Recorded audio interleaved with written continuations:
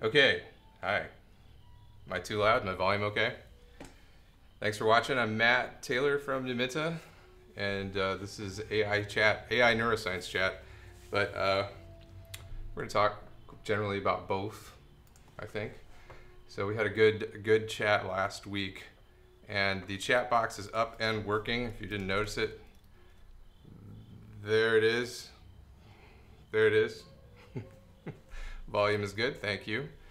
Thanks for listening. So, um, before I start, oh, what you're hearing is Caravanserai by Santana. This is the first uh, track on the album. This is the best Santana album, in my opinion. Whoops, whoops, whoops. Wrong things. Okay. Yes. Um, uh, so, what do I want to do? Um, so, first of all, you probably noticed I've only been doing this Twitch thing for, this is my third real week doing it, my second Monday probably. And so the second sort of AI chat show, I'm working on like overlay stuff. So you might notice I'm, I, I put this on top and this on the bottom. I'm hoping that this is like the title. It is a artificial intelligence chat episode two. And I'm gonna talk about just HTM basics today. Um, and I think the, the viewers thing over there looks good too hopefully. Uh, I'm going to, I'm sort of testing it out today, so we'll see. Seven, all right. It's updates like once a minute or so. Um, so good news, uh, if you look at my Twitch page, I am now a Twitch affiliate, which is nice. I, I, you have to get a certain amount of followers or something. So I can uh, have things like subscriptions and do neater things in chat. I can create VIPs and chat. And so it's a, it gives us me a lot of tools to engage more with the community. So I think that's that'll be fun. And so what I'll do to celebrate that is at the end of this little chat, I will gift um, five subscriptions to this channel and and um, randomly. So whoever's in chat at that time, Twitch will like randomly gift five subscriptions, and that will give you ad-free streaming on this channel, on my channel, and I think you'll get access to custom emoji emotes, which I haven't made yet but I'll, I'll make them and like a subscriber badge, which I haven't made yet, but I'll make, I'm gonna make those. So, um, yeah, so, so that's fun. Uh, and so I'm happy I got more than 50 subscribers watching. Um, so let me, uh, one of the things I wanted to do is I noticed that I got some comments on YouTube from last week. So let me go, um, I want to go over some of those and try and answer them. Uh, so let me find them. I, I just put all of the Twitch videos on YouTube, uh, on my YouTube channel here. and so I didn't really know what to expect with that, how they would be received because, uh, let me turn this off. I didn't know how they would be received because um, all my other videos I try and make a bit more polished, but I got good, good feedback and a lot of people watching them on YouTube, which is, which is good. It's sort of encouraging. So I have been replying to the comments here, but there's one in particular that I wanted to look at. Please stop talking about deep learning. You have no experience at all, and your statements are misleading or, or plainly wrong. Every bachelor's student at Stun Neural Network course can bring up strong arguments and evidence against most of your statements. I am uh, not an expert in deep learning. It may be true that I said something wrong or inaccurate in the last meetup. If so, please tell me uh, what I'm wrong about. This particular comment doesn't tell me what I'm wrong about. So I would be happy to have a conversation with anybody uh, who wants to join in chat or Twitch or whatever. Um, and uh, if I'm wrong about something, I want to know because I'm looking for what's right. I'm looking for the truth, the right answer. So uh, please uh, engage me in chat or in uh, email me at matt at numenta.org if you don't want to do it publicly. Um, I am open to being corrected about any of this stuff for sure. So uh, for the most part, I think everybody was happy that uh, this content was being made available on YouTube, so I'm just going to keep doing it. And I got a nice spike in views, so I'm just going to keep um, pushing this stuff. Um, still, what, what do you mean? You, I still have the opening slide showing. I don't know what you're talking about. Um, you can see my screen, right? I mean, I'm not viewing. I'm not viewing the video. I'm just, I just had it paused. So, um, okay. Next thing on the agenda. Oh. This is kind of neat. Let me see if this shows up. Uh, if I go to my Twitch page, I have this poll down here. you're gonna see the Twitch page. Uh, I, should be able to, yeah. So there's this poll down here. I think maybe I can. There should be a way to put it up. I thought it would show up like on the stream as you're watching it, but apparently it doesn't. I guess I didn't configure it correctly. Uh, but uh, but I thought it would be fun to have a poll. This one is just I gave this on YouTube as well. When will truly intelligent machines be a reality? So if you're interested, go to go to my, down on my Twitch page and vote on this poll. Um, next time I do a poll, I'll figure out how to have it, you know, uh, pop up live while you're watching because I know there's a there's a way you can embed it sort of in the video. I'm gonna shut that that stream down because um, I don't need to stream two things at once. Um, uh, okay, so uh, how's everybody doing? How many people we got? Eight, eight or so in chat. That's great. I'm glad you guys showed up. Um, at any point in time, if you want me to explain anything, please let me know. Some of you guys are old HTM forum people, or not. You're not old people, but you know you've been around and you know the basics of what I'm going to talk about. But even if um, you just want me to go over something in particular, uh, I'd be happy to. So, because I'm just going to whiteboard it today. Um, you can ignore this. This is a future plan. Future plan. I love time series databases, and Influx is a time series database, and I, I want to do something with it. So, uh, so it's. I mean, when we're talking about HTM, I think, especially if you know something about deep learning or about machine learning, um, the one of the most important things that you have to think about is sparsity. And if you look at your brain at any point in time, I just happen to have one right here if you look at a brain at any point in time, and I don't know if this is exactly true in every single part of the brain, but I'm gonna, this one comes apart nicely. So let's, let's just talk about the neocortex, which is like this part, without the inside, without the old brain stuff, the thalamus, the midbrain and all that. This stuff, the, the, the neurons in here that are doing computation, if you were to take a snapshot of your brain at, at one point in time, you would see that of all the trillions of billions or whatever neurons that are in here, only 2% of them are actually like in a firing state or like re releasing their action potential or like their voltage is high, they're, they're firing, they're spiking, whatever you want to call it. Only 2% of those. So if you think about that like logically, you might say that that's uh, that why aren't we using all of our brain? You know, why are we only using 2% of our brain? That, that's not what that's. We are using all of our brain all the time. It's it's not like uh, just because only two percent are sparse that that's that's uh, we're only using part of the brain. Um, sparsity is really really important to the brain um, because when you have a, a representation, it, are you not seeing the video? I, I, it should be streaming video right now. I'm hoping that. Let me do a stream check. I had to do this one time before. Um, uh, Mark says he's having a hard time uh, seeing the video. If anybody else is also, you say it's all good. Thanks, thanks for the check. Um, I know there's a stream health check I can do here. It looks, it says excellent. So I don't know, Mark. I don't know what to tell you. Sorry. Um, but you can always check it on YouTube. Uh, but Mark, you know all this stuff anyway. I know, I know you're being supportive and I appreciate it. But I know you know all this stuff. So a refresh fixed it. So if you're having video problems, refresh. Um, anyhow sparsity is important. The one of the reasons it's important, and and it's not just sparsity necessarily, um, it's distribution of semantic meaning as well. So we talk about this in HTM terms. We talk about uh, not spacity. Did I? Spacity, spacity, spar, sparse.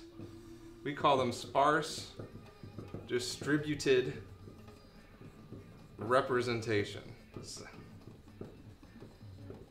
Sparse because in the population of neurons that are, will represent something, sparsity, um, only a small percentage of them will actually be on doing the representation at any point in time.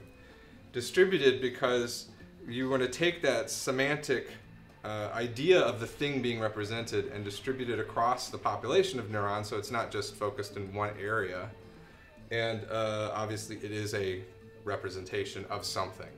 So when we talk about neurons, especially populations of neurons and activations of those neurons and SDRs in that sense, where an SDR is a collection essentially of neurons and their on or off state.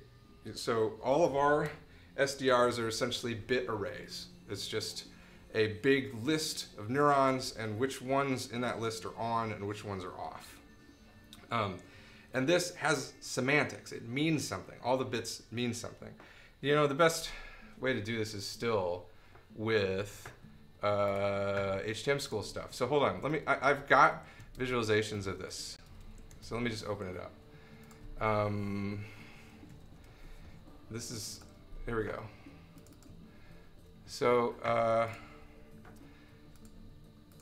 all right. So this is the best way to visualize it, in my opinion.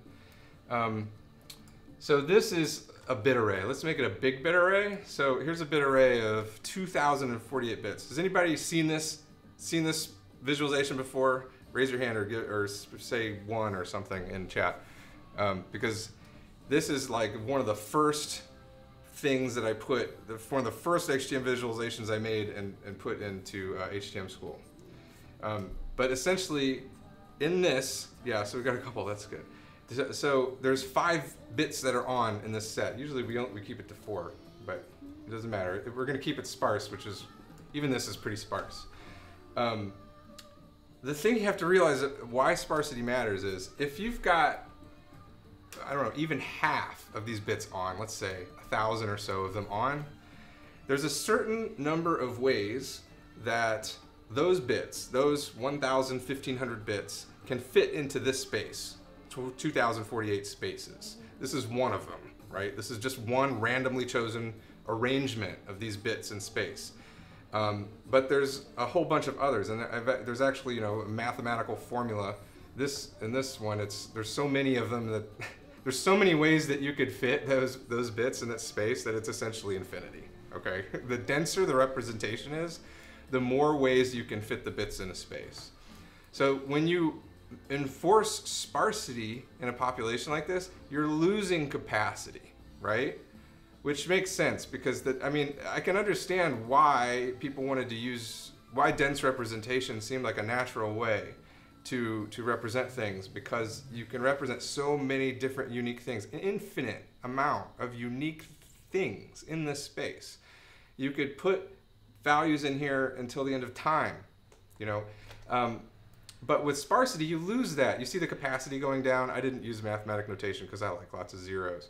But um, it's really a big number. Even, even if we dial the sparsity down really low, uh, we typically use 40, which uh, 40 would, out of 2048, which is 2% sparsity, which is the amount of neurons in your brain. So this is a good representation uh, of your brain and the amount of neurons that are on. You know, not not a ton of neurons, right? Um, so why?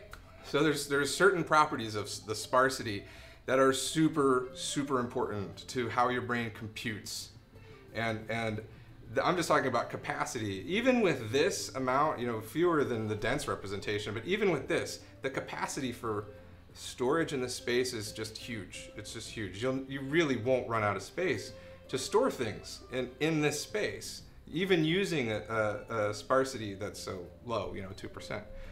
Um, so realizing that, we can understand some more things about SDRs.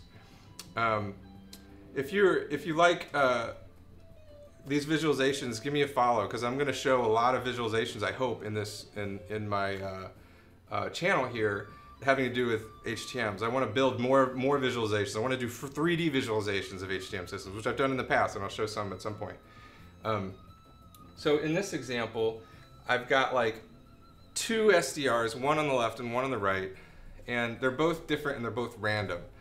Um, on the left, they're both the same size and they have the same W, so their sparsity is like 10%. Yeah, and I did 10% just because I want to show you uh, what happens when you compare them. So you can do two comparisons with SDRs that we, your brain is doing all the time in, in different ways. Um, one is an overlap, okay? So basically, when you take an overlap, I'll take the one on the left over there, and I'll put it over top of the one on the right, and what you see, or the center, excuse me, I'll put it over top of the one on the center, and what you see on the right is the overlap. Those are the bits in the array, or in, in the space, where we're both on in both of the comparators, right? Um, so that's called an overlap. That tells you what is similar between the two representations. You have to remember these SDRs, these sparse, sparse distributed representations, have meaning. Like they, they, this, the bits mean something. You might not know what they mean, but they mean something. If you take a neuron out of your brain, and and you don't know you don't know what any neuron in particular is doing if you just point at it, but it's doing something. It's playing a role in who thousands of computations most likely, you know, in, in some way or another. And if you take it out, it, it isn't going to affect the computation of the whole population. It'll be a super minor degradation of the system. So these, because of everything sparse and because of these comparisons or uh, the way that the, they're compared, um, they're also like inherently tolerant to, to fault, right? So if any, if any of these neurons, for whatever reason, decided to die or, or just didn't happen to fire that, that, that particular time, this comparison, this overlap is still going to be super similar than, than before. Okay, so overlap is one of the, the important things to think about. The other is a union. And that's and these are just basically a binary and is an overlap or a binary or, which is a union. And the binary or is just going to give you all of the bits where both of them, or either one of them, excuse me, in that space, either one of them had an on. Um, and this is a way to accumulate, to, to sort of like have a bucket and fill it up with things and, and fill it up with features and, when, and what you can do with this, let me just show you the comparison real quick. This kind of shows you, we, we typically will call, do it, use an overlap score to identify how close two representations are. Um, yeah, so Mark is saying the bits mean something, right? In computers, this, that's, a good, that's a good point, Mark. In computers, if you're looking at like ASCII code for a five or something, for the letter five uh, number, excuse me, the number five, um, and you change like you can that resolves down to an array of bits ascii does essentially and if you changed one of those bits it would change the five to something random like it might be an asterisk or it might be um, a bracket or it might be a seven it might be an a i don't know but um, it would not be anywhere near a five right you can't make any assumptions about that with these if you change the bits in the representations you're guaranteed that it'll be similar because because these representations are sort of cumulative, right? Um, so that that's a good point. He says um, each in SDRs each bit stands for something. It'd be silly to have all the bits turned on, meaning everything at once. It, would just be a complete overload. Right? It wouldn't mean anything. Right? It'd mean nothing. Um, so let me show you a bit about uh, matching. Is this the one I want to do? Uh, I haven't done this in a while. I'm this is just like oh this shows you okay this this sort of introduces a threshold. So I'm going to turn the noise down. Um, this is where the this is where the record skips. Hold on. It's a brand new record. I don't I don't understand. Uh, yeah, thanks for the ASCII for five and binary. Appreciate it. Flip one of those. Flip one of those and tell me what you get. It'll be something completely different. Um, yeah, so there's a great video on this uh, that I'll uh, that I'll put into chat. Cortical.io semantic folding. I really like this. I misspelled that. I think semantic folding. Here it is.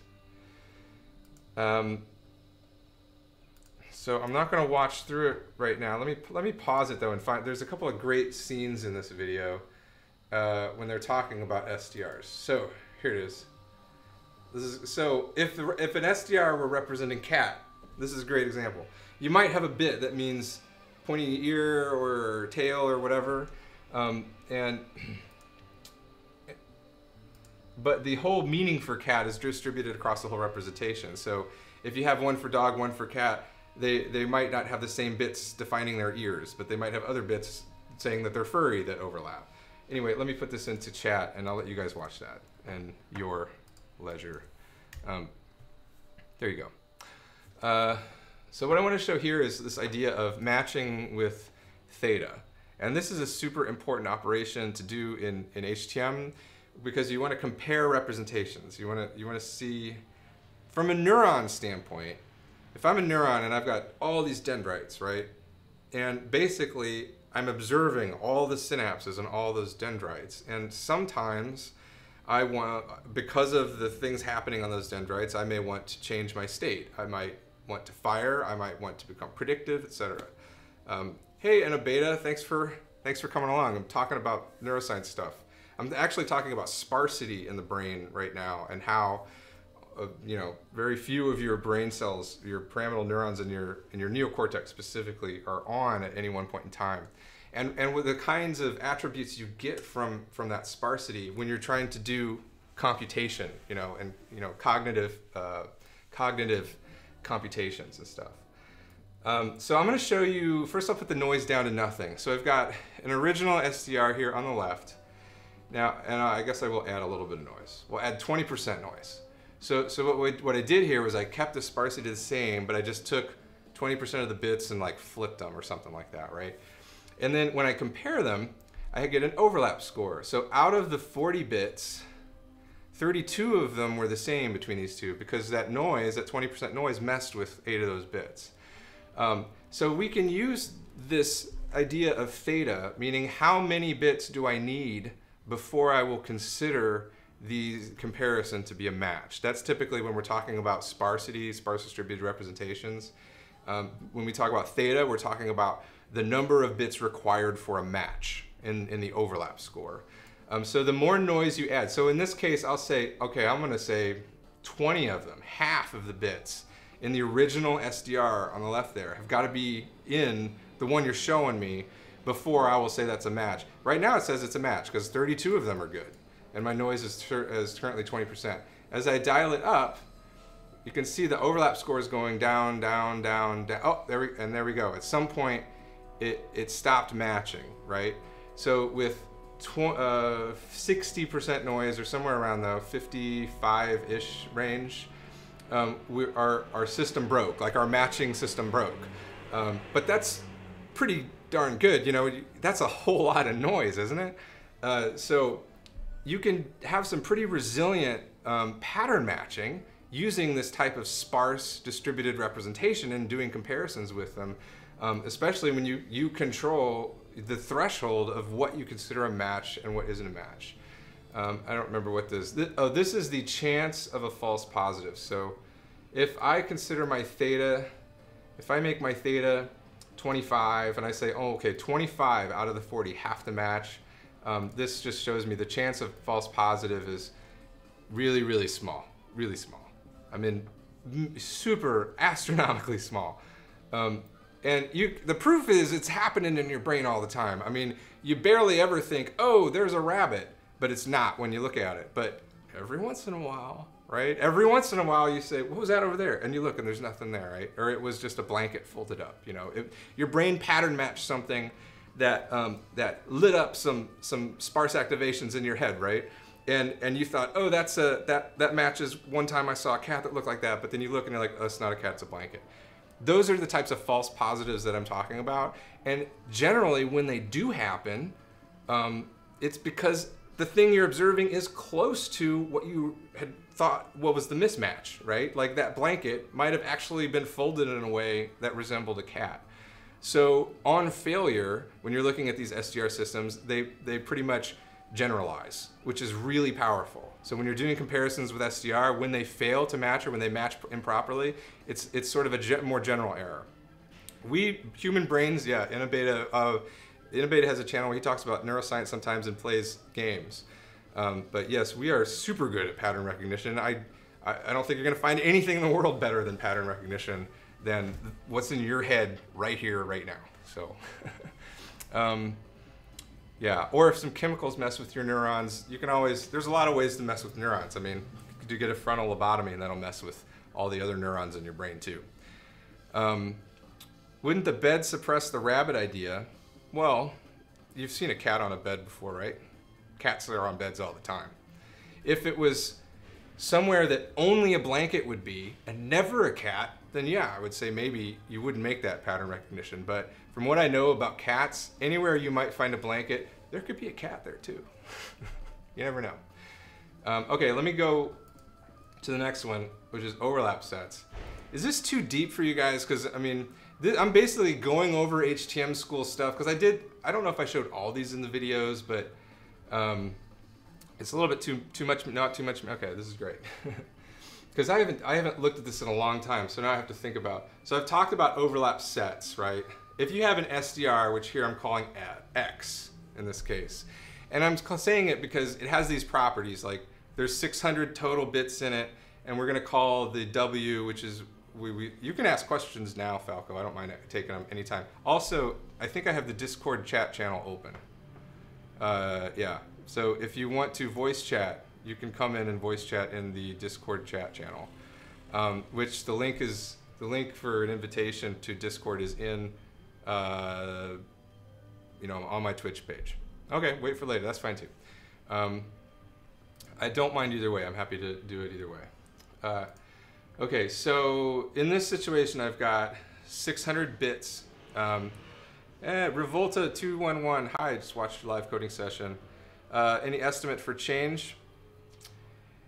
Estimate, that's a whole other topic. Okay, I'll tell you right now that um, we are not, NuPic is currently in maintenance mode. It has been maintenance mode for well over a year now as we focused on research and completely research and not on building out software.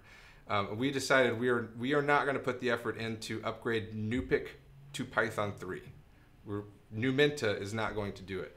I'm going to start deferring people to the community fork of NuPic, which has an initiative to work uh, towards Python 3. I'm going to make an announcement on the forum very soon. Um, I just wanted to make sure all my ducks are in a row, but since you asked, um, uh, we're going to be uh, not doing any of that stuff that I talked about for, for the most part.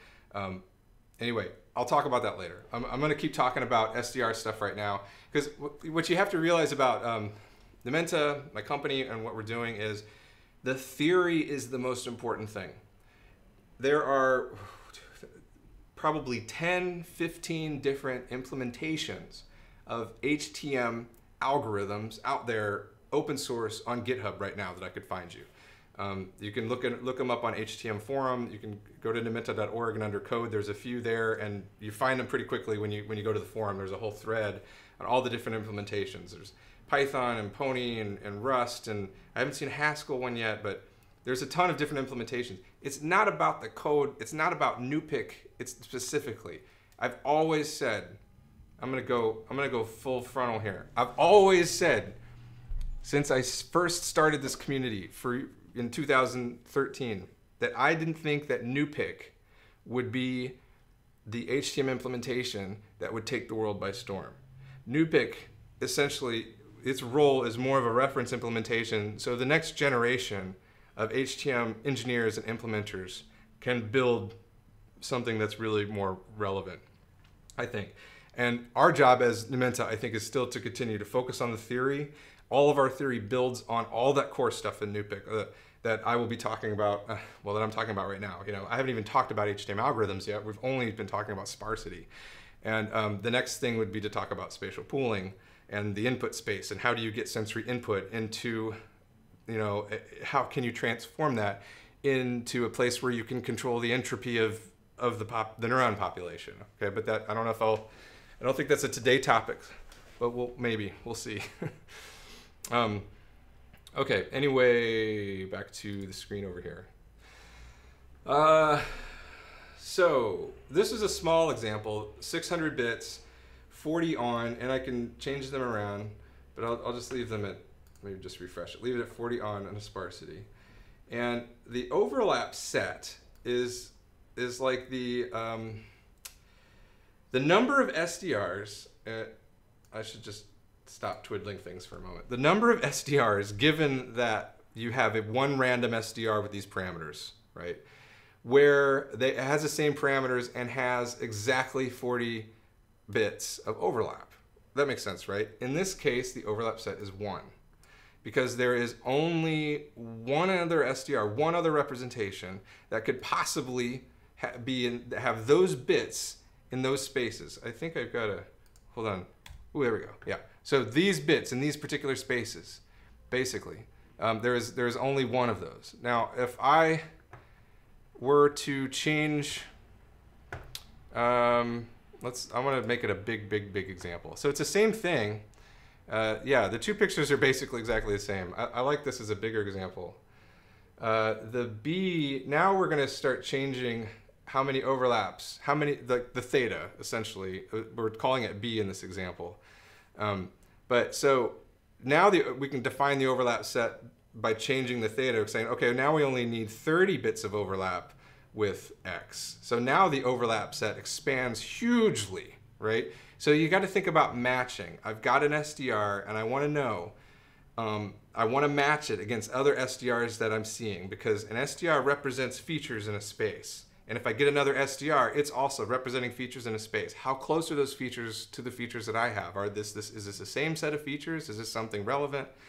So we can do this with this with this bit of math and we can we can change how fuzzily we match right? We, we match this SDR to the things that we're comparing it to by changing this theta value that I talked to uh, talked about earlier.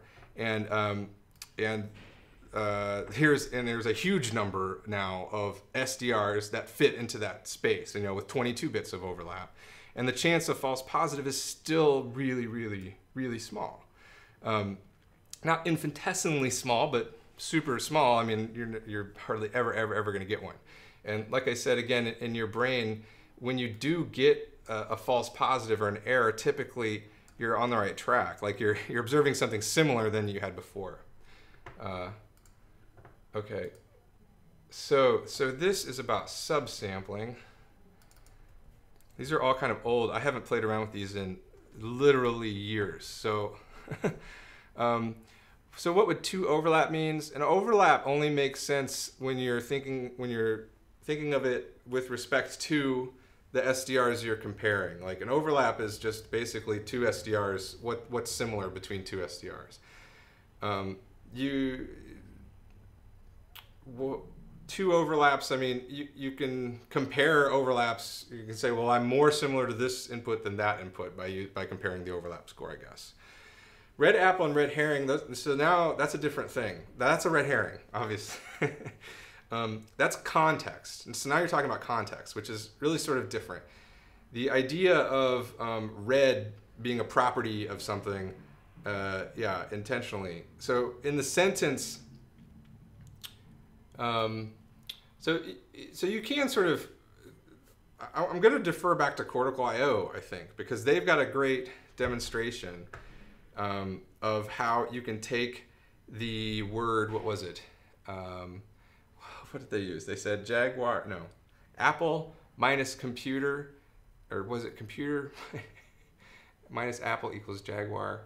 I don't remember. So if you take the term Apple and you give it to Cortical.io, they'll give you back an SDR representation for that word. They'll give you like a bitmap. And it will have semantic meaning, like the bits in it will have semantic meaning. That video that I showed earlier about the semantic folding tells you all about how they create these, okay? So you could give it one for Apple. And if you, if you look at what it gave you, it's gonna be a bit overloaded because Apple can mean more than one thing. An apple could be a fruit, an apple could be a record label for the Beatles, and an apple could be a computer. Okay, so three major things that Apple could mean. Um, so it turns out if you take the SDR from the Cortical.io uh, service for Apple, and you also ask them for the SDR for computer, okay? And then you say, subtract all of the bits from Apple from computer, you'll get a representation of an Apple that no longer includes computers. So it will just be the Apple representation uh, for um, you know the Beatles record company or the fruit, the apple. So you're trying to say so those overlaps would be basically all of the semantics that are similar between all of those terms. So you could take perhaps three different terms that you think are unrelated and and what are the overlaps in them? And that will give you the semantics the things that they all have um, in common. So that could be useful right? Um, say if you have if you took a a dog SDR, a badger SDR, and a bear SDR, and and you and you just compared them and only got their overlaps and what were the, what do those bits represent? Well, probably like furriness, mammalness, you know, the thing things that walk on feet, things that are alive, you know, all the things, all the attributes or semantics of those objects uh, that that are true for all of them. I would say. Um, okay, cool. Back to what I was doing. Okay, so I want to uh, talk, trying to talk here about subsampling, and I'm trying to remember what this even meant because, like I said, it's been such a long time since I've that I've messed with this stuff. It looks like I've got three examples preloaded. Okay, so I have original SDR, which is really sparse. It's like one percent, and then I have a subsample. All right, so what I've done here is I've taken an SDR and I've only sampled half of the bits. So here's another thing you can, I, I remember what this is about now. Here's another thing you can do with SDRs that's tricky that your brain can do too, and probably does, um, is you don't have to store all the on bits.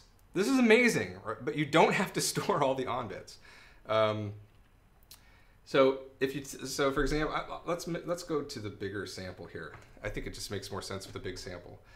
With the original SDR, 2% uh, sparsity, and this is a typical size that we use in HTM systems all the time, like 2048 bits in a layer of Cortex, um, or, or, those might be 2048 mini columns, not, not actual um, neurons.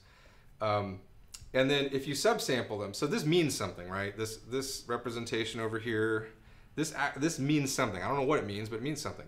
So we're not gonna store all of the bits, we're just gonna store half of them. We're gonna store 20 of them, right? And then we're gonna take a random SDR and we're gonna compare it to Y. Uh, we're gonna pair, compare the subsampled version to Y.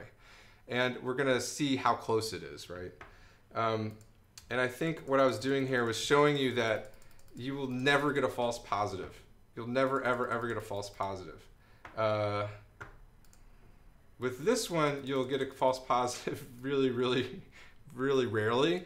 Um, but the, the thing is, you, you, don't have to store all the bits. You can you can get away with with with just storing half of the bits that you see, um, and you can still use that for comparison. That's how resilient um, this this system is. This memory system is. It uses this sparse distribution of, of, of memory. That's how resilient it is to fault tolerance. You could literally take half the bits out of a half the neurons could die in a representation, and it could you could still use it to to uh, compare to things that are coming in and still have a decent representation. That's why when people have brain damage, they they they still have sometimes still have overall function of things, and they can build it back up, and they can they can relearn how how to do things even though they may have lost a lot of neurons or a lot of neurons have damaged in their brain. Um, I don't think I ever. Oh yeah. So so you can twiddle with this, you know, and twiddle with the sparsity a lot, and then and you can obviously get get them depending on what you what you make your theta to be. Uh, you can get them to to have false positives and collisions and stuff like that, but.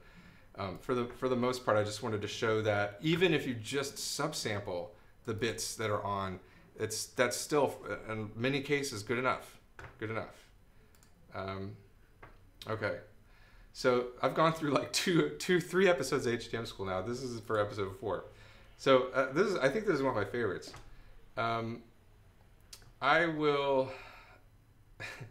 this is tricky to explain though, because I because I want to show you like a way you can um, accumulate a whole bunch of representations and then tell, given a new one, whether you've seen it before. This is that's sort of what this is supposed to do. So, so here's an SDR that goes like all the way across the screen, and I'm just going to add a bunch of to it. You can sort of imagine that top one sort of dropping down every time I hit this button. I drop it down, and and I'm storing it right.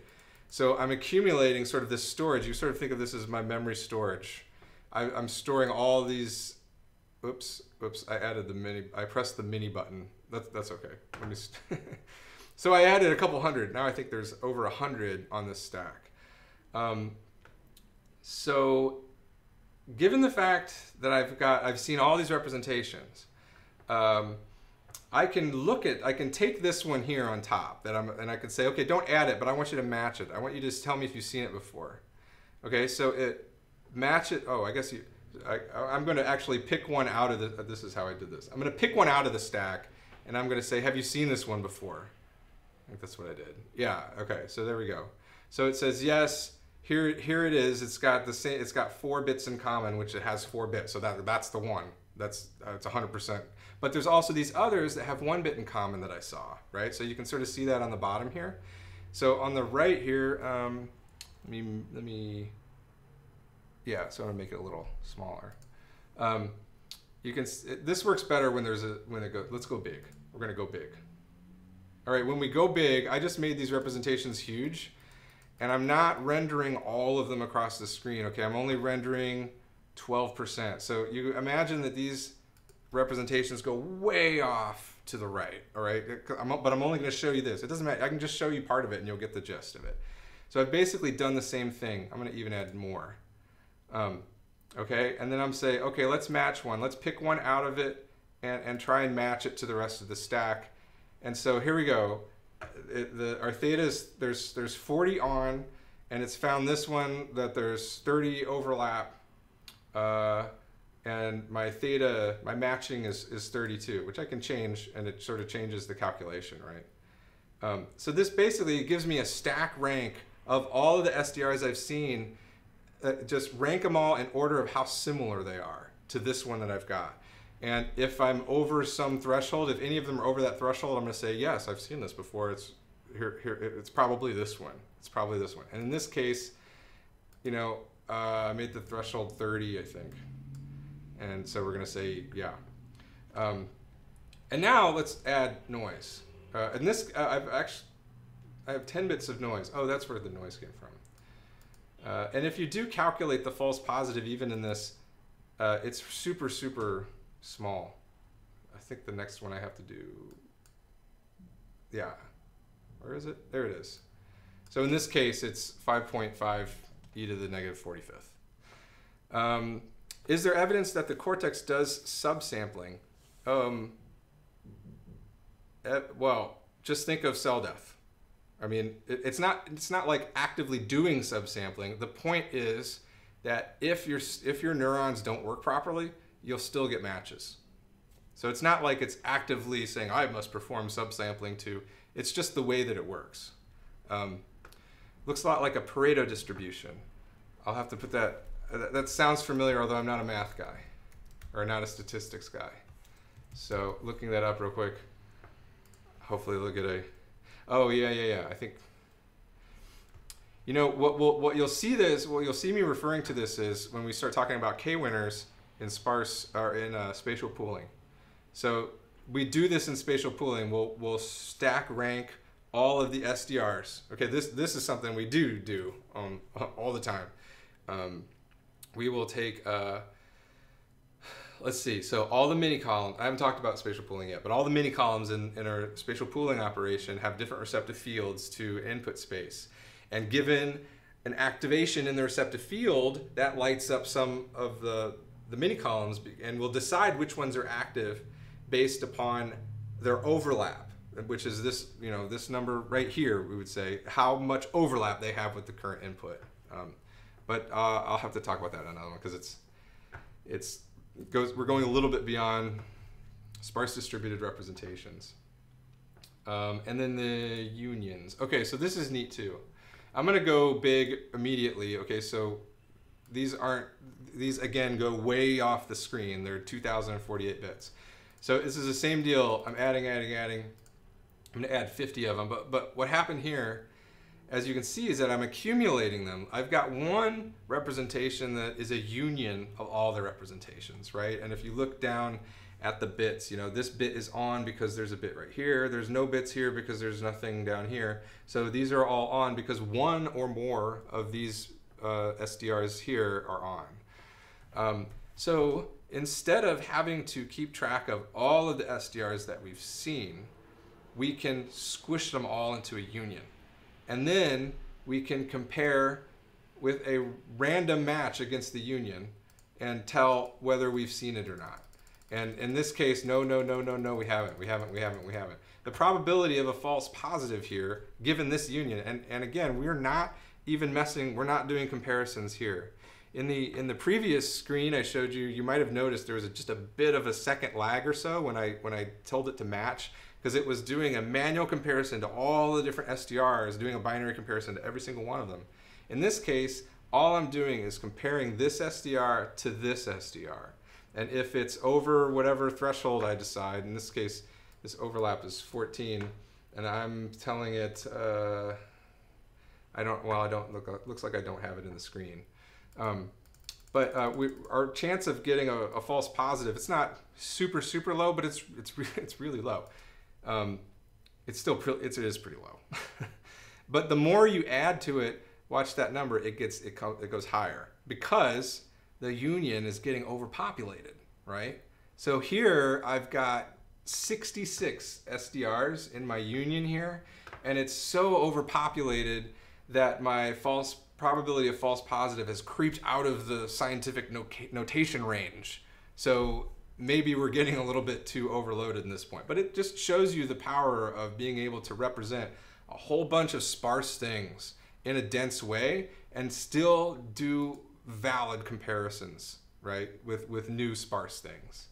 Um, so this, I think this is really powerful, and and your brain takes advantage of this in, in a lot of ways. I think. Um, I don't know. Okay, so I've I've done some of the basics. I could go on to encoding, um, if you guys want me to go on to encoding, or, or we could just chat about if you guys have anything else you want to talk about because. I mean, this is like the basics of let me give you some resources me, uh, before before I do anything else. And if you guys have anything else you want to talk about, then throw it into chat. Um, let's see. I'm going to go to numenta.com slash papers. And over here, I think there's like a topical. Yeah, so over here, if you just go to sparse distributed representations, um, go ahead and ask Falco. Um, or you can get into Discord voice chat if anybody wants to also. Um, and ask there. Falco, you're in the wrong place. There's a live stream voice chat. I, I didn't want to like muddle up the other one. Yeah. Hey, there you are. Hi. Nice. yeah. To, hi. Nice to hear you. I hear you fine. You can ask your uh, question. Yeah, I, I, I hear myself 17 times, so. Ah. Uh, can, can you hear me now? I can hear you. I, I can mute myself if that helps. Delay. Well, I'll. I talk like playing organ, organ, so it's the same. Uh, this is this is difficult. I think um, I think you have to. I wanted to know. Sorry, go ahead. There is a way to get rid of the echo, and it's either you mute, you turn your speaker, you mute yourself, you you mute me on on that end, or something like that. I, somebody did it earlier.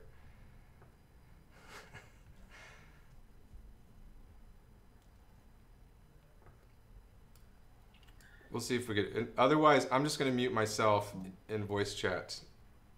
Let me know what you want me to do. Um, hopefully, you're not getting the echo. But there's there's a bunch of uh, papers here um, about SDRs. The ones that I would probably the one I would probably read first is this properties of SDRs and their application to hierarchical temporal memory. This is probably like the the the standard first paper to get. Um, I'm gonna put it in chat here. Hold on. Oh, you can't mute the microphone without muting my headset. You know what I can do is I can mute me. So I muted myself in voice because you're the only one there. So hopefully you can hear me through Discord. okay. I can hear you. Okay, so do you hear me now? Yes, I can hear you. Okay, excellent.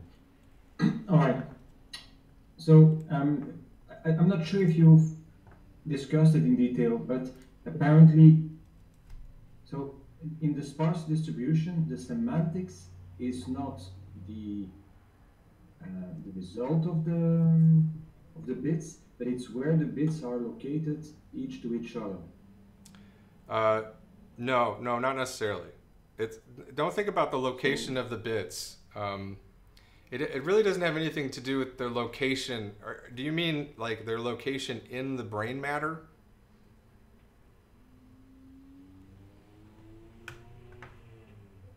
I mean, if you if you look at ASCII five and ASCII six, there's only one bit difference, but that one bit difference has no semantic meaning. But when you look at um, red in your um, in your SDR and you you look at bright red and, and dark red, yeah. then there is a lot of overlap, and but the number of bits that remain there are important. So I have a, I have something I'll show you.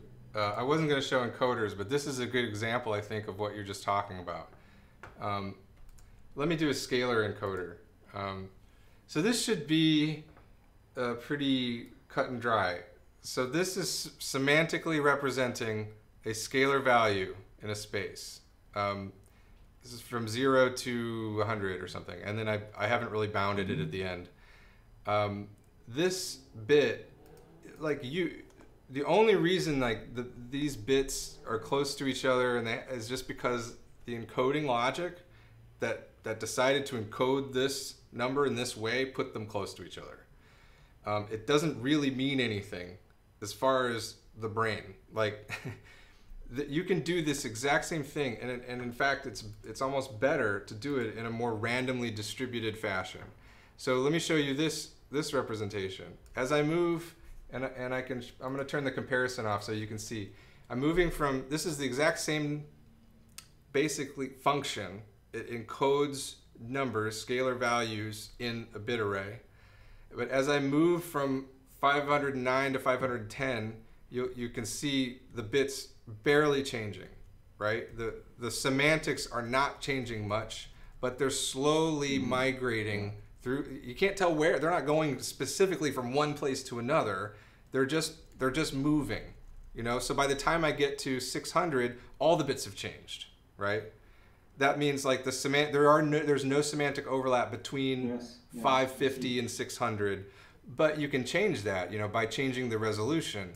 So you can change it so that there's a lot of overlap. I think you have to have a low resolution for this. You can make it a lot of overlap. So when you change the bits, a lot of them change. So you can have a lot of control over how you represent whatever you're trying to represent in the space um, in the encoding logic. So encoding is really important to try. Yes, but hold up.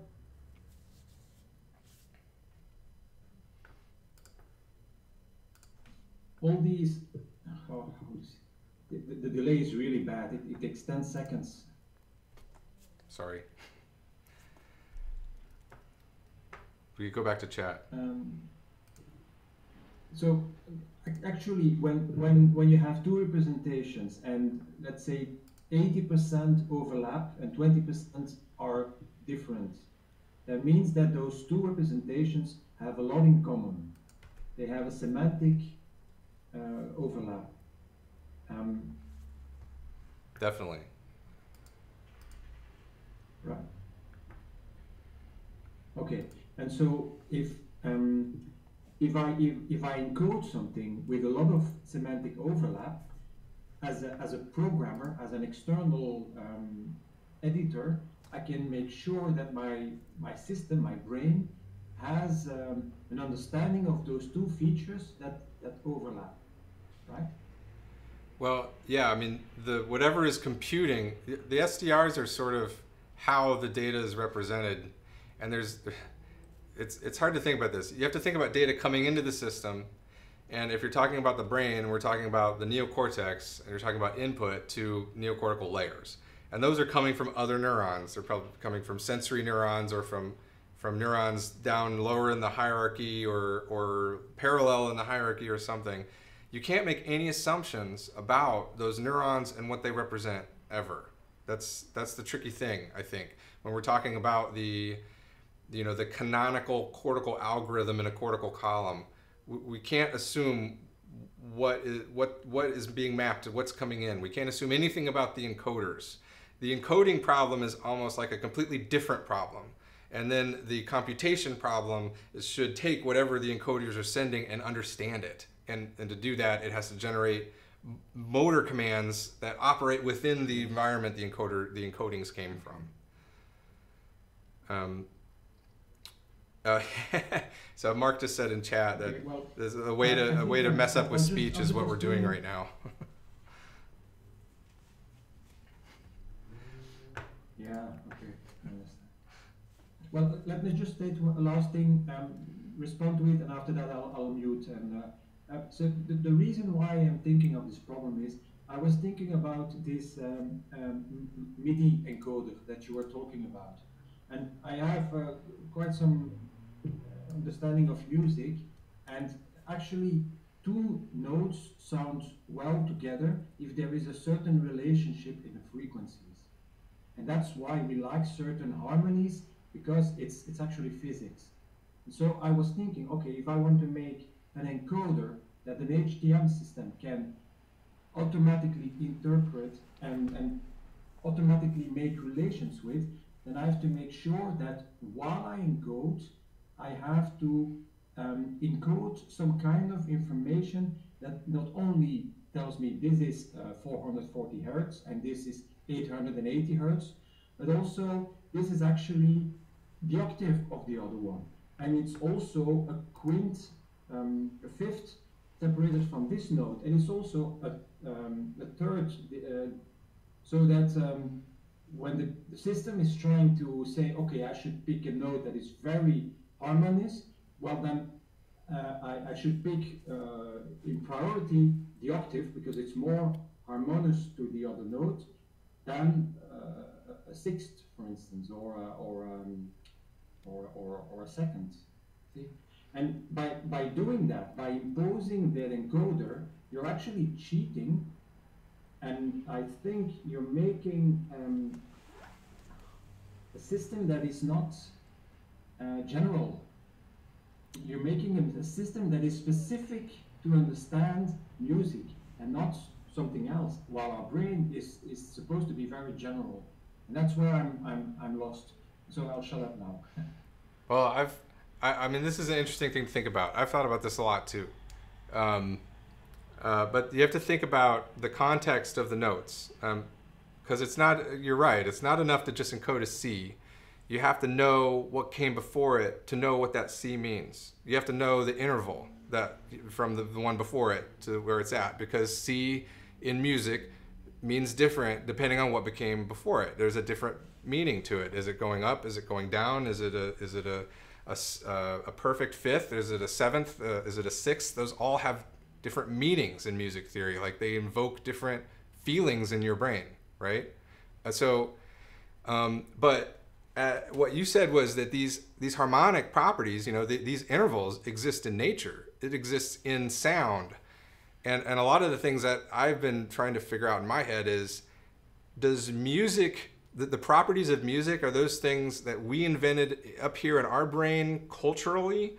How much of it is cultural, and how much of it is just properties of the, the sonic attributes of you know matter around us? How, because if you think about the intervals and you're talking about, you know, different frequencies, as you go up the frequency range, the, um, you, you know, it's, it's, a, it's a logarithmic sort of range. So the higher you get, the, the farther, I think, or is it less? Uh, the farther it is you jump when you just move the same amount of interval. If you're just talking about hertz, right? The, the wavelengths are moving faster and faster.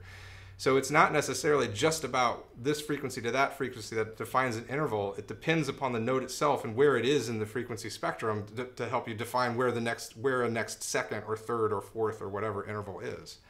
Uh, up is closer. Okay, so whichever way it is, but it's but it's not a linear sort of uh, frequency progression, right? I, as far as I understand it, I think it's a it's a it's a exponential or logarithmic frequency progression as you go up the scale so that the yeah so that the differences between the frequencies in the lower octaves are different than the one that the same interval is happening in the higher octaves and that should be encodable right because you're encoding that you can encode the frequency um, I don't think it, I don't think it really matters. Just that, that it's different. You know, it's not linear. It's not linear.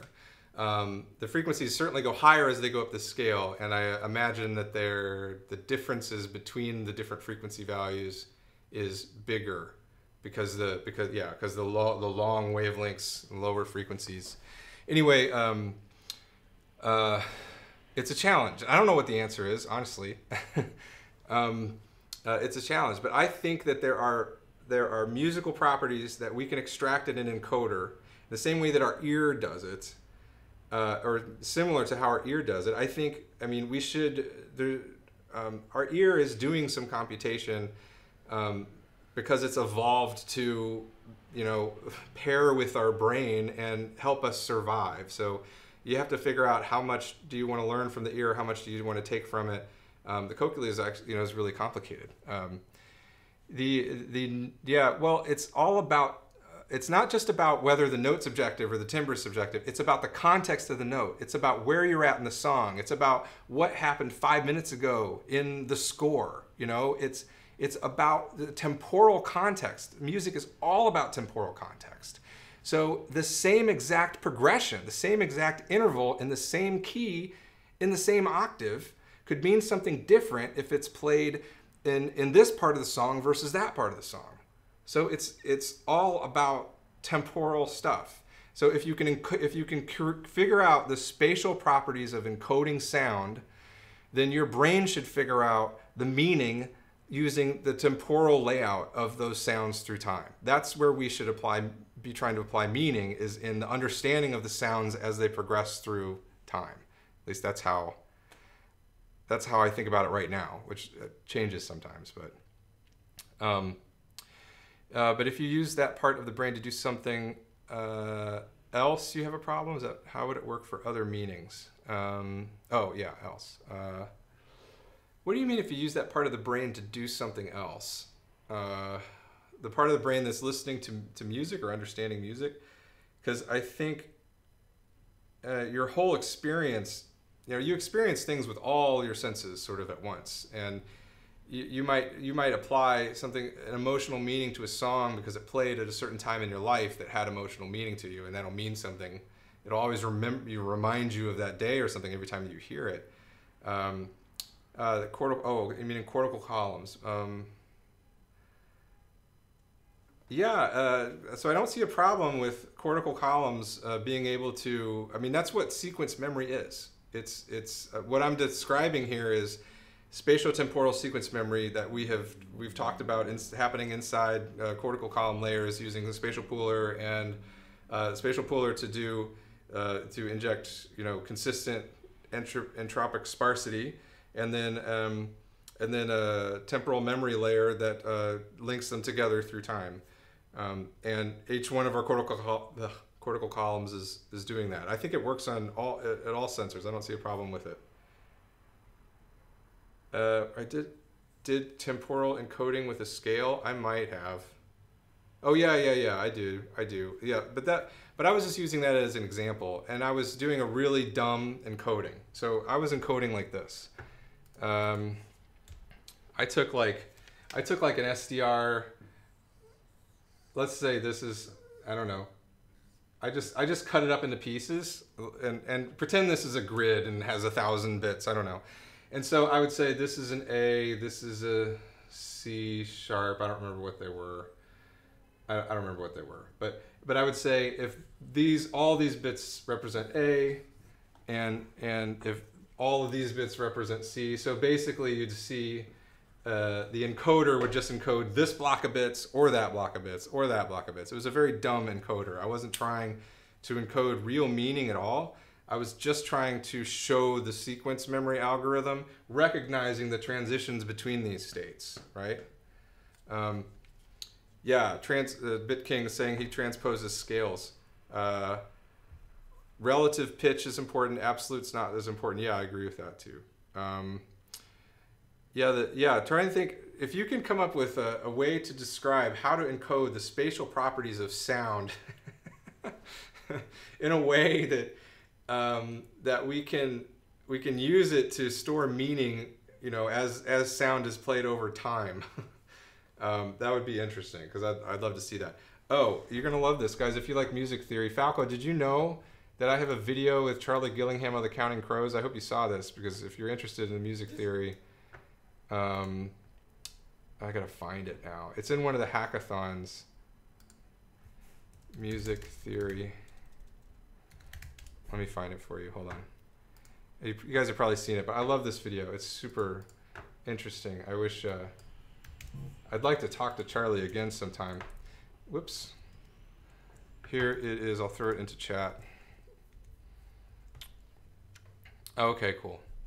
Um, but um, that was a really interesting discussion on music theory. He talked about consonance and dissonance and, and that sort of thing. And, and, and the more I've thought about it since then, the more I think that we have to that these are all spatial properties and it's the brain it's the cortex it's the cortical column that's really um, parsing out the temporal context within this the, all the spatial things that are happening in music and the encoder the, you know your ears that are encoding the spatial aspects of sound they might be doing a little bit of, of prediction and, and temporal contextual stuff. I don't know. I, I don't know. It's hard to say. Um, but uh, but i think that most of the temporal memory part of music understanding and replay and is is really going on in the cortex. Um, I think it's I, I play guitar obviously, and I uh, I it, it's hard for me not to think about temporal memory when I'm playing guitar, and it makes so much sense when you're trying to memorize sequences um, because the sounds go along with movements. Like as as I'm moving my finger in a different place, I, I start to anticipate the sounds that are going to be made, and and you're storing all these memories based on like your complete representation of, of reality not just what you're hearing but as you're moving and everything yeah so you so you know what i'm talking about. It's it's a whole experience. It's a, like a full body experience especially if you're a musician and you play music. Um, the act of creating music is like a full body experience and it's it's much more enjoyable that way too i think. Um, thoughts on synesthesia? Yeah i think synesthesia i think is is sort of uh, so if anyone doesn't know what synesthesia is, it's like there are some people who are born. I don't know if I'd call it an ability, uh, but but they they can hear uh, color or they can. Um, I think the most common way to think about synesthetics is is that um, they'll typically when they think of a number or a letter, they always associate a color to it or a sound or a, or, or, a tone or something you know that you regularly wouldn't associate with with something visual you know when you think about the number five some people always always think yellow. Like that's just part of the way that they think. Um, and uh, they call and there's uh, there's other ways you know when you hear something you get a you, you can see colors and I'm not synesthetic so I don't really understand what it means but someone in our in our office has said that they were synesthetic which was interesting. Um, but the thing is, you know, you've got these regions in your brain where you might have an, an auditory region here and some other type of region here, and um, some of the some of the connections between regions. I mean, if you think about all the different variables that go into a growing brain and, and how dendrites grow and how far they grow and what directions they go and, and everything. Um, uh, Mark says loops are joining sensory maps that are not connected in other people. Yeah, so there, there's there's probably there's things in these people that are crossing these boundaries somehow, to where I think I think that um, things are sort of leaked from from one from one sensory region to another, or they're sharing information across region boundaries. Um, I'm gonna okay. I have another resource for you. Um, I think, here we go. So I interviewed David Eagleman and we talked about synesthesia. So you can see him and me talked about him. And here's the brain. Here's the brain I used in that video. Do you guys know who David Eagleman is? He's like one of the most famous neuroscientists that I know. Um, but he was nice enough to let me uh, interview him. So we had a fun time professor at Stanford, director of Center for Science and Law. Um, anyway, um, we talked about synesthesia. He had a better explanation of it than I did. Um, yeah, that was that was my first interview with a neuroscientist. I was super nervous because I, pro- I, I cold called him. Well, he'd been to our office before. Actually, he's interested in our work. Um, he wrote uh, a recommendation. For, was it what do you call it? A referral, whatever, for Jeff's for our latest paper, you know, the frameworks paper. Um, hey, thanks for the follow. Nice to see you, Mike Mike Moloch. What are you up to? What's what's going on? Hey, I promised that you guys. It's been over an hour, and I promised you guys I was gonna I was gonna donate some subscriptions. So let, let me do that. I think it's time, and then we're go- and then we'll do a raid. All right. So I gotta let me figure out how to donate some subs. Um, yeah, I know. Look, check this out. I got double digit viewers. I got 50 followers. Um, I'm gonna go to the video page and figure out how to uh, do this. Gift a subscription. I'm gonna do to the community. We're gonna gift five subs to the community, and I think this will work. I've never done this before, so we'll see. I have to pay. I have to pay for it. That's okay. Let's see. You guys should be like getting subscriptions any minute now. And that means, like I said earlier, oh, I need to put my postal code in. Hold on. Uh, Amazon. You know, Amazon owns Twitch, right? seamless, seamless integration with their payment system. uh, here we go. Come on, it's chugging away. It's trying. It's trying. I'll show you. This is my screen. It's like, hey, I think it worked. You're, yeah. All right, so I just got so you all right, Falco, Freeman, Revolta, BitKing, RXJ, you, you guys all got subscriptions to the channel. So uh, I just appreciate you guys all watching. And that means like for the next month, that means that you, there was a subscription. That was new. That's new too, right? You like that? um, for the next month, you guys will see uh, no ads on this channel, and I think you'll get like custom emotes and stuff. I'll still I'm still figuring out that all that jazz. So uh, thanks for watching. I I it's just for fun. Look, you got a little like star by your name. Do you see that? See that? In chat, if you're in if you're in Twitch chat, um, let's see. It gives you a little star by your name. Let's pause that. It went away. There it is. There's your little star. it says you're a subscriber. Um, and I don't. I, there's something else that I that I'll figure out some other something else that I can do. Uh, like I can give VIPs and somehow there's custom emotes, but I have there I have to like decide what my custom emotes are gonna be and create them, and I haven't done any of that stuff yet. So in the meantime, here's here's one. Here's oh this is one of Innobeda's cat emotes. Yeah, there's a cat in the chat. the cat in chat.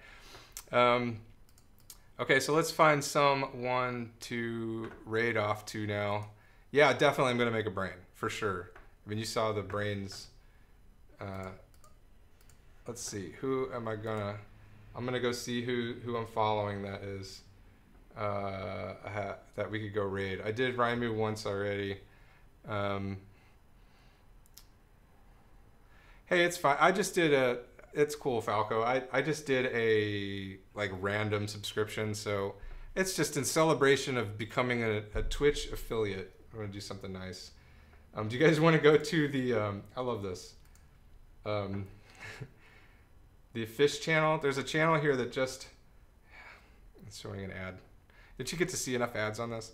There's a channel that's just a fish tank, which I like. I thought it was very calming. Aside from the explosions of the first person shooter ad advertisement before it. Here we go. This is it. um, oh, oh yeah, Coder doing AI. Let's see if someone I know is. Nobody's online right now. So there is hardly anybody doing AI that I found. Somebody that I noticed DRX DRXDXY, I forgot his name. Um, um, let me go. Let me go look.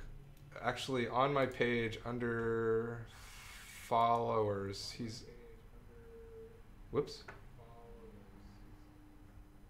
Somehow. Okay, there we go. DYX. Oh, this guy. Diz, Dizzy L? No, no, that's not him. Maybe it is. Yeah, yeah, this is the guy I think. Um, but he's not here. He's not online right now. Usually he plays Magic, but lately he's been doing like this. This last video of him, he was doing anomaly detection with uh, it was spatial anomaly detection um, with PyData. Uh, he said he was going to come back and do it, but I don't see him online right now, so I don't think there's any. I don't think I, we can raid him, so we have to we'll have to find somebody else. Um, but honestly, nobody's doing machine learning hardly at all. Um, Um, hopefully you saw um, MG Stein, who I just saw, who I just went to. Is what was it? MDXL or something like DZYL. DZYL. Let me say. I'll, I'll put it DZYL. That's the guy's name. Um, but who is live? We could go back to. I don't know. I don't know. I don't know this guy. Let's go to him. He's got a bunch of viewers. What's he working on? He's working on JavaScript. some places. So where do we do this? Let's go with Um, it's it's not bad to, to start rating some people that have a lot of a lot of viewers because you know that's how you get viewers. Raid that guy. You guys ready? Here we go. Three viewers are ready. Four viewers are ready. You guys ready to raid? This will be fun.